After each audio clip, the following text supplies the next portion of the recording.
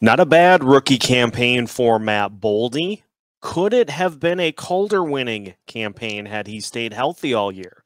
Plus, what does Boldy need to work on into next season? And where does he stand amongst the rest of the Wild's team going forward? We answer all those questions with Matt Boldy's 2021 2022 season eval today on Locked On Wild. You're Locked On Wild your daily podcast on the Minnesota Wild. Part of the Locked On Podcast Network, your team every day.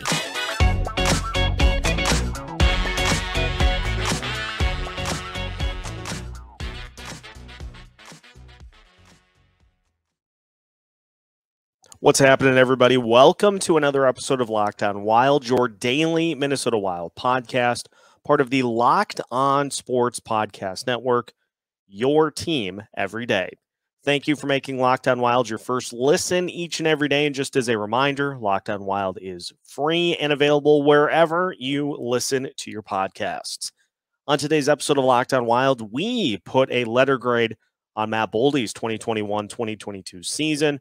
And uh, we look at where he ranked amongst rookies in the NHL to see whether or not he could have won the Calder Trophy uh, with how his numbers turned out in the games that he did play. And we'll also look at where Boldy stacks up amongst the rest of the Wild roster moving forward. My name is Seth Toupal, host of Locked On Wild, veteran Minnesota sports content producer with well over a decade's worth of experience covering your favorite Minnesota sports teams, and uh, now decked out in Minnesota Wild green, covering them for Locked On Wild. Happy to have you along for the 500th episode in the history of Locked On Wild. Uh, so uh, thank you again, as always, for tuning in and uh, keeping up to date with us as part of Locked On Sports. So Matt Boldy, the uh, the name that I think was one that everybody was plenty intrigued about heading into the season, but uh, unfortunately for Boldy, had to deal with some injuries which led to his season and NHL debut coming well into the year and left his mark on this team, I think, from the get go. Um, came in and created the second scoring line that this team really needed heading into the playoffs. Obviously, as with pretty much everybody on the team, the postseason numbers um, not anywhere near what the regular season numbers were. And so uh, factoring that in for everybody on this team. But uh, you look at what Boldy was able to do uh, with Fiala and Gaudreau, created that dynamic scoring line. And Boldy, I think the most important thing for young players is showing that they belong at the NHL level. There really was no doubt with Boldy from the time that he stepped onto the ice for the first time to uh, getting paired up with uh, Kevin Fiala on that uh, that line. He really showed a lot of promise and a lot of poise, and uh, I think has shown that he can be a very exciting player for this Minnesota Wild franchise going forward. Now, obviously, before too long, there are some contract things that are going to need to be ironed out uh, between Boldy and the team, but for now, um, just really impressive with what he was able to do and what he was able to contribute to this team. Uh, just very, very above average puck handler, and uh, just just showed a real strong ability to um, to help this team in a lot of different ways. And so, you know, it's it's no accident that he was one of the more successful Wild players on this team.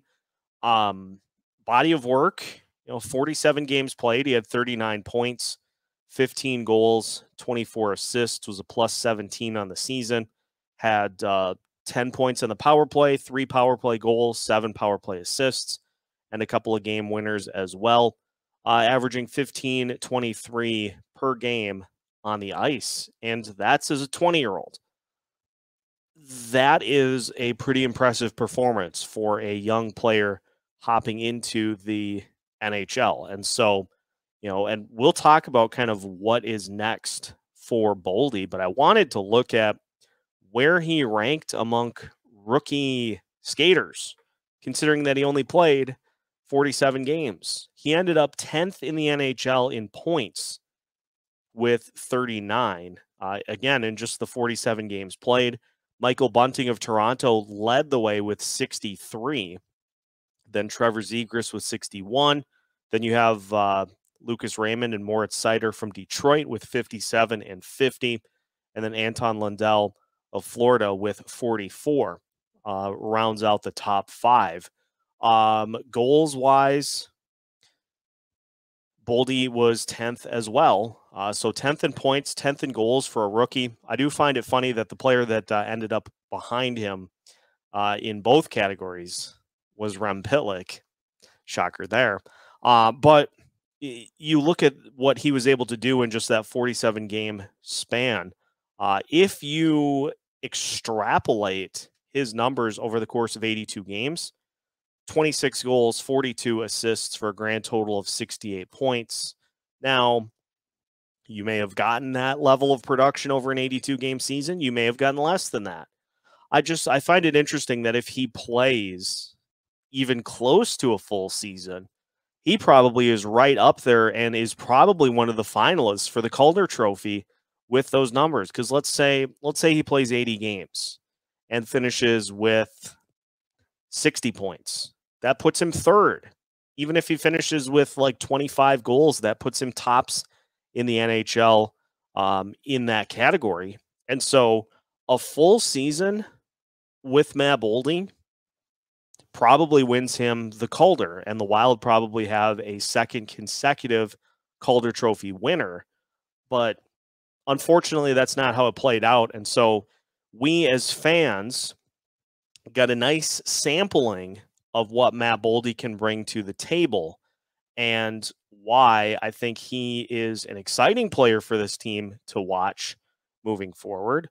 Now, way down the line, he may end up being a player that pairs up with Kirill Kaprizov on the top line, depending on how things shake out with the uh, the rest of the top six. He might be. He is talented enough to be that kind of player the question of whether or not he will be, you know, it there are other things that uh, have to factor into that. But all in all, a, a, an incredibly successful season for Matt Boldy, and I think another season. I, I feel like a broken record in going through these letter grades for all of these players, and I, I don't see any way that you can give Boldy anything less than you know, an A or an A minus. And there have been people in the comments that have pointed to, you know, the postseason numbers were not great. Boldy had the one goal through the six playoff games. Well, get in line. Everybody on the team, pretty much, with the exception of Kirill Kaprizov and a couple of other players, did not play well in that series. And so, yes, it needs to be factored in, but at the same time, it's not like Matt Boldy Kevin Fiala were by themselves performing poorly and the rest of the team was doing all right. By and large, everybody did not play super well in that series. So um, th- they factor in, but at the end of the day, the overall body of work for Boldy as a 20 year old in the NHL, I think is super impressive. And so he's going to get the uh, official stamp from Locked On Wild, and uh, we're we're going A.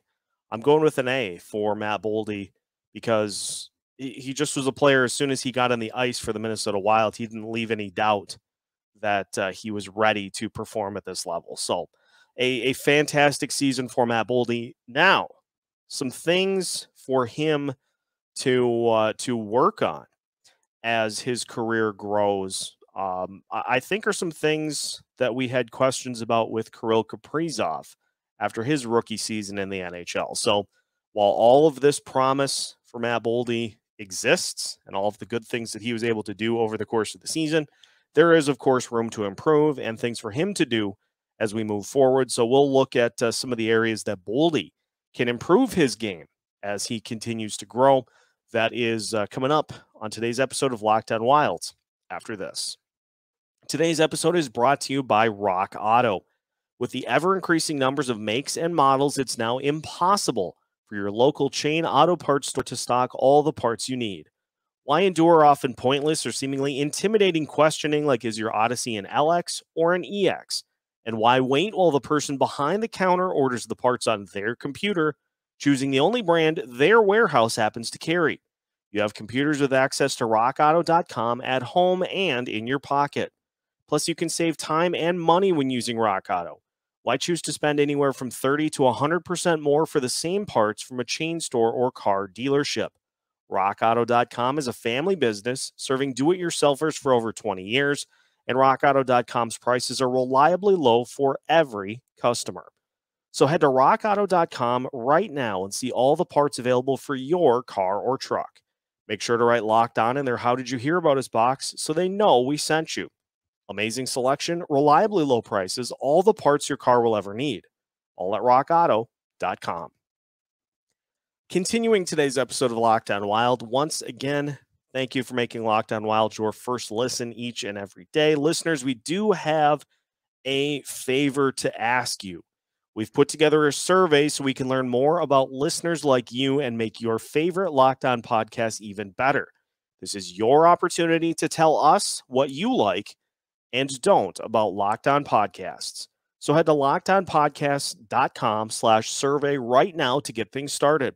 It won't take very long, and everyone that completes a survey can qualify for a chance to win one of 10 $100 Ticketmaster gift cards.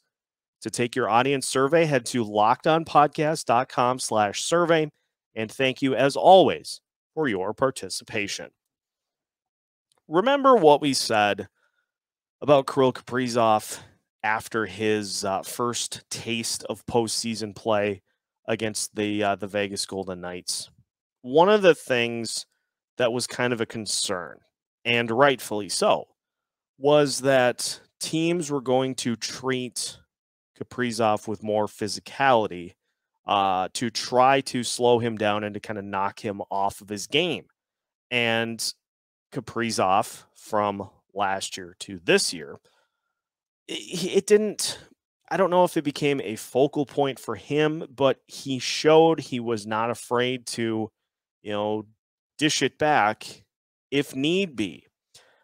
I'm thinking the same thing for Matt Boldy because if you look at what happened in the series against the Blues, St. Louis really tried to go out of their way to throw the Fiala line out of whack. And Fiala played tentatively and just it it really seemed like the Blues did what they needed to in order to throw that line out of sync and take them off their game. So then they weren't scoring goals, and then the only line you had to really worry about was the Kaprizov line.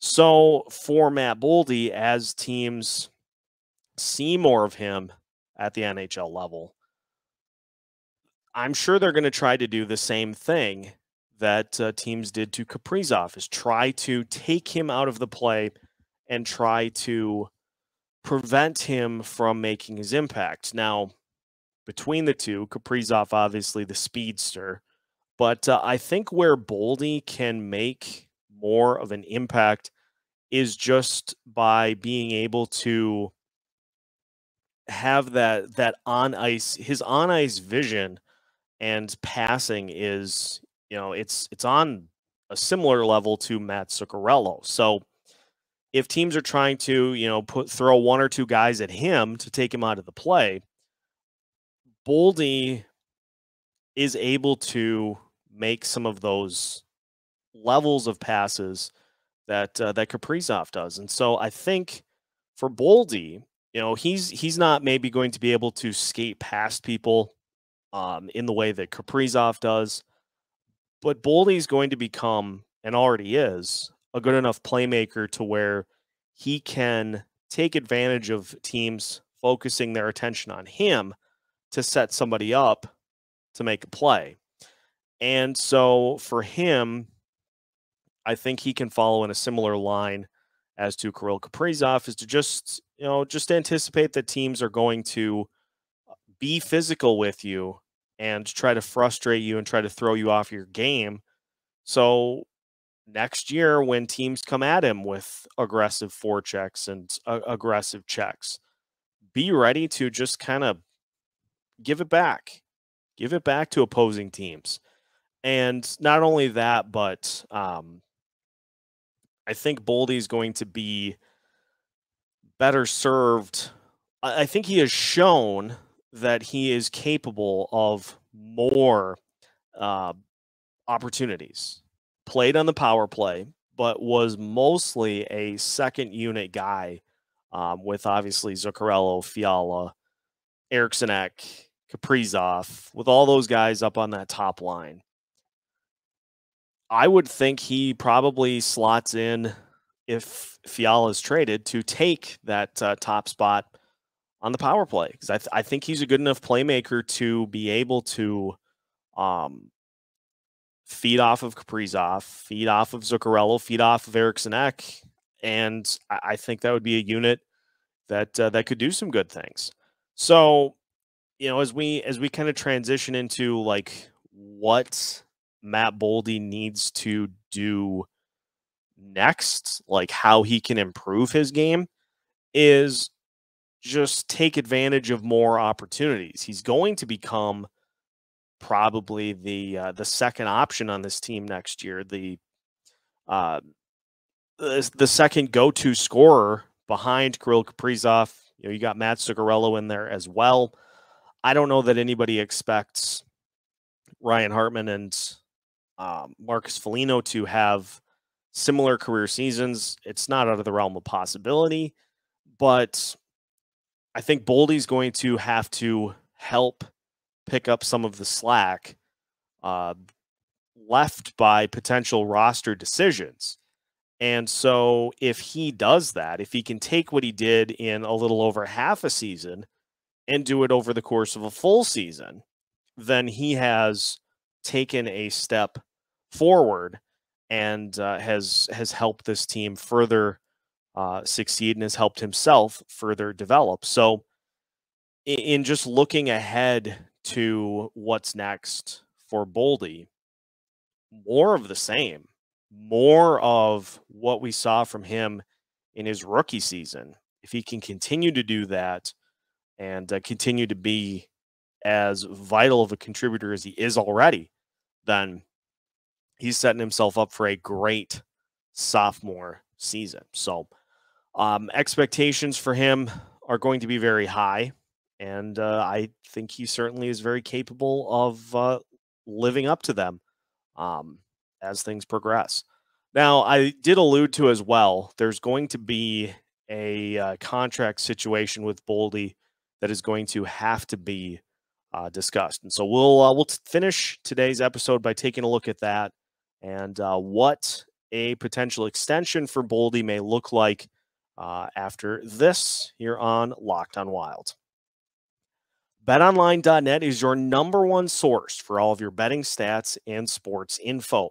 You can find all the latest sports developments, news, and odds, including this year's basketball championship matchup, the NHL Hockey Conference Finals, Major League Baseball, and of course, all the latest fighting news from MMA and UFC to boxing, plus already can look at next year's NFL futures.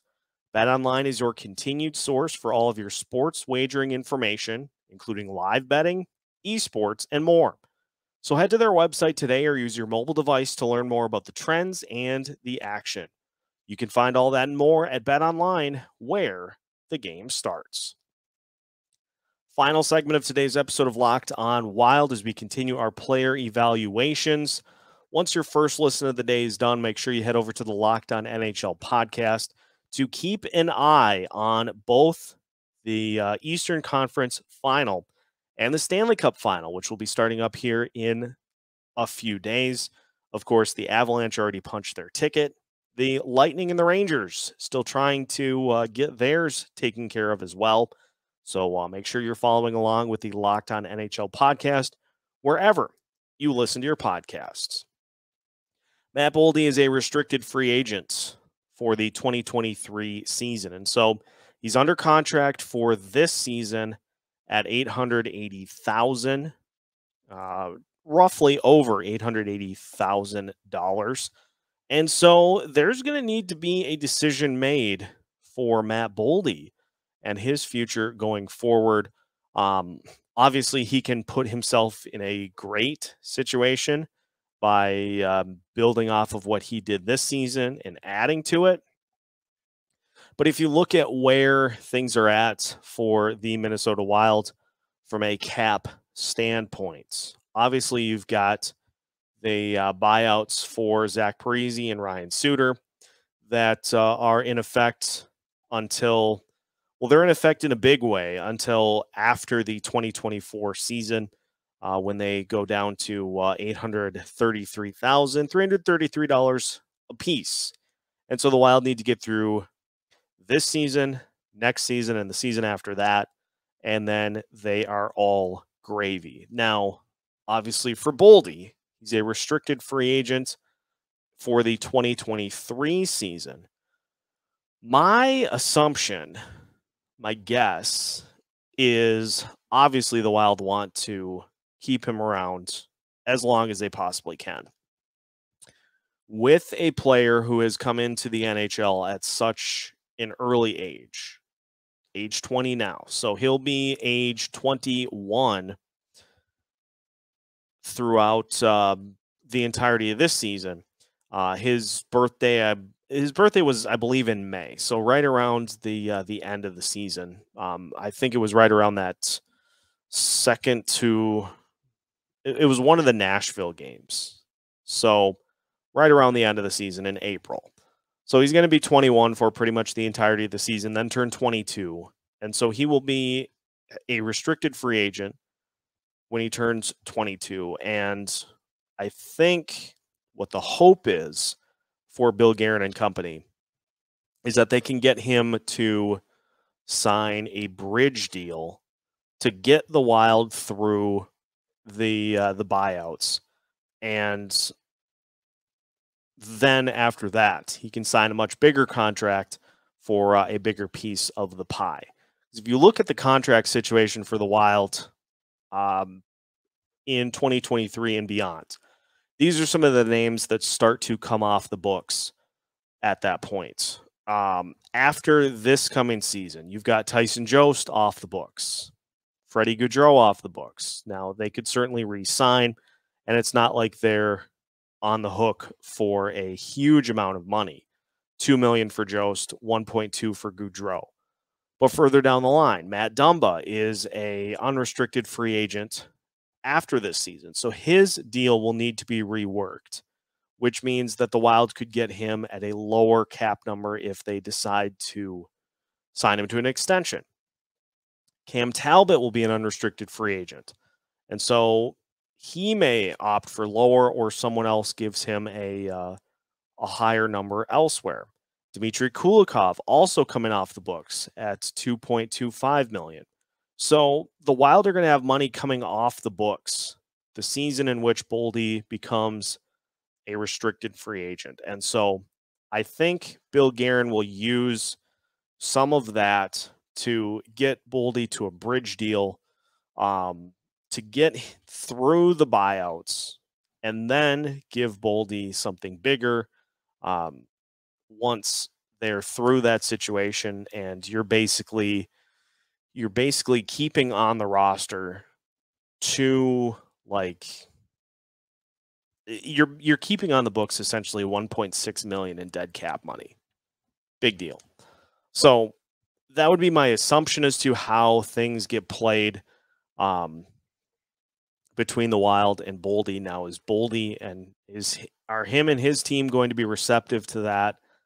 That's the other side of the coin. They may look at what he did this year and what the hope is is that he'll do this coming season and say, well, we're uh, we're going to want a little bit more than that to uh, to stick around. So the art of the deal always in play, but uh, all in all, a great season for Matt Boldy, and uh, certainly one for him to uh, build off of as he takes on additional responsibilities for the Wilds uh, this upcoming season, uh, which I, I think he's certainly certainly is up for that. I think he's certainly up to the test uh, for this Minnesota Wild team. So, A for Boldy, and we'll finish the week by uh, discussing his line mate, uh, his center, Freddie Gaudreau, who uh, had really one of the kind of out of nowhere seasons for this Minnesota Wild team. So that's going to wrap it up